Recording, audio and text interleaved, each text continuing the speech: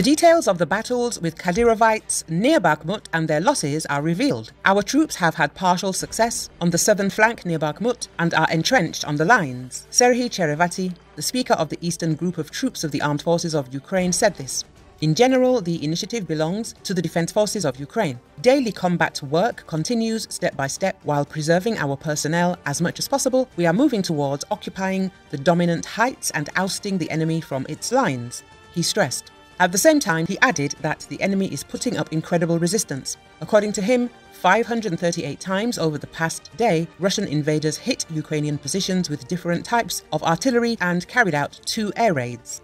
In general, five clashes took place in this direction, in which 71 invaders were destroyed, 141 were injured, and one was taken prisoner. Four enemy tanks, an airborne combat vehicle, two Grad multiple launch rocket systems, three cannons, two Hyacinth S self propelled artillery mounts, two anti tank missile systems, one Strela 10 air defense system, as well as a Murom M surveillance complex, and five UAVs were destroyed, Cherevati said. He confirmed that Kadyrovites were seen in their operational zone in the Klishchiivka area and in the Svatovsky direction.